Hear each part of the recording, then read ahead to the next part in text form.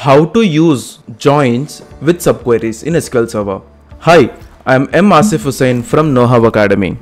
So in this video, I am going to show you what is meant by a subquery, what is the syntax of a subquery and how to use the joins concept when we are facing a question with a subquery. So before directly telling it to you, the technical part, let me give you a very brief explanation. So here the point is that whenever we are using a query with the requirements that we have received from the client, with the requirements that we have received from the customer or if you are an attending an interview and if the question is being asked in interview in such a way that you need to write a very big query for that when there is a scenario where you have to write a lengthy query you can cut short the query into different parts. So rather than using a layman terminology different parts let me take you the technical terminology. We have to split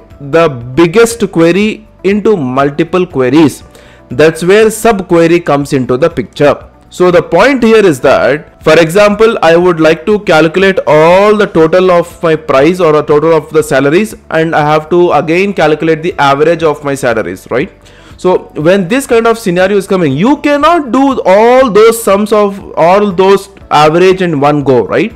So what we have to do, we can do splitting, you know, we can write a subquery, we can write one query and we can open another bracket inside the query and write another query. So whenever we are opening a bracket inside a query, then we call that as a subquery. So if I talk it to you about what is a subquery, we use a subquery when the result that you want requires more than one query and if you want to perform the multiple operations. In an interview also, if any question is being asked what exactly is subquery, you can tell in a very simple way. We use subqueries when the result you want requires more than one query or if you want to perform multiple operations. Now the syntax of subquery is that we have to write the select statement with the column name. Now the point is you can see here something I have written in a square bracket. So in SQL Server, whichever it is written in a square bracket, it means that that is optional. Either you choose it, you don't choose it, it is up to you. So what I am doing, I am writing a select statement with a column name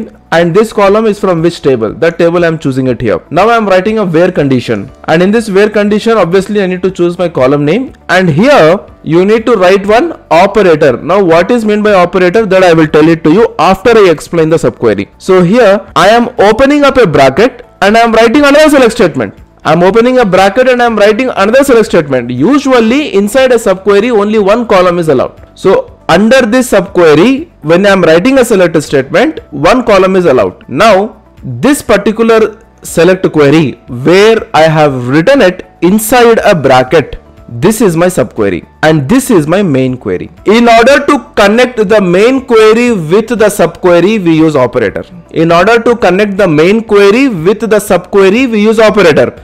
Now, what are the different types of operators we have? We have less than, greater than, not in, exist, between, lots of operators that we have here. Now the point is that which operator you have to choose that also depends upon the question that you get. Depends upon the requirements that you get. So always be very cautious when you are choosing the operator that itself will decide the result of a subquery alright so now in my previous videos I have explained a very simple example of how to display the second highest salary of a delivery person so for this I have used a max function and I have shown what is my maximum salary which is 26.10. So if I want the second highest, so what is the value next to 26.10 that will be my second highest. So that's where I'm writing the same thing in a subquery but I have chosen the operator as less than. So whichever value is less than 26.10 that maximum salary should be my second highest salary. So that's where when I have showed it I have got 19.00 which is my second highest salary of a delivery person. Now this is fine. This is a very basic example of how you need to use a subquery. Now my question is that what if the case you got multiple requirements in one question. So that's where we need to use joins concept here. So what joins concept we have to use that we will see it what question we have with us. So now I'll take you over the question. The question is that the get the menu item name along with its group name which have the highest price which have the highest price so for this let me first retrieve the menu item name table. So for this I am writing a select statement select star from table menu item. So what are the columns we have under menu item? If you see here we have menu id menu group id what is the menu item name and what is the price of each item? These are the columns that we have in the output so now it is even asking me to show its group name also okay? Now you might have a question what is a group name? So if i talk to you in a very simple example desserts you know we all love desserts right? So desserts is a name. So under the desserts there are different types of desserts there are different types of items you know dessert items such as gulab jamun such as you know uh, pastries such as uh, sweets something else right? So group is desserts. So menu item name is different group is different. So now let me retrieve the menu group name table as well. So for this i am writing select star from table menu group that we have it here. So now if I show it to you, we have menu group ID and group name. So now the question is that I would like to see the menu item name along with its group name, which is having the highest price.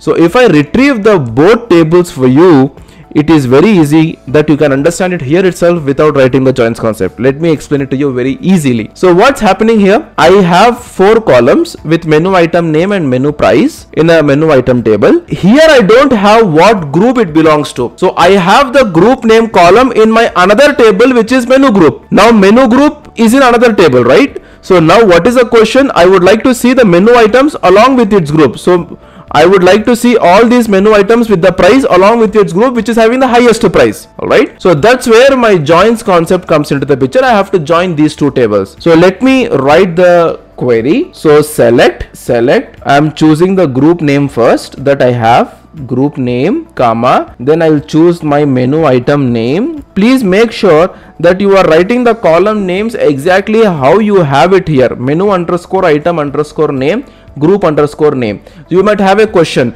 that here it is in a lowercase, here you are writing in uppercase. SQL server is a is not case sensitive. Either you write in uppercase, either you write in lowercase, it will consider it. Okay. Menu item name, comma. We have price column, comma. Then I will even show which menu ID is belonging to which group. So I'll choose menu ID as well.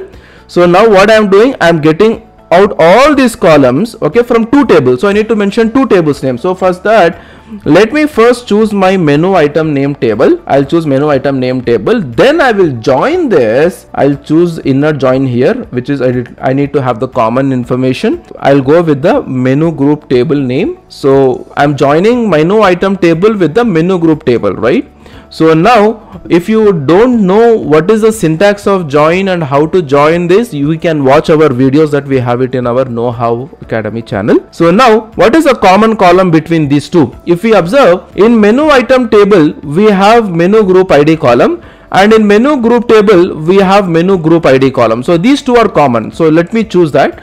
On what is my table name? Table menu item dot common column. What is the common column? Menu group ID is common column equal to what is my next table name? My table name is menu group. So menu group dot what is the common column? Menu group ID is the common column. Till here it's fine. If you write like this, you will get everything. You will get every information. But what is the condition? Condition is that which is having the highest price.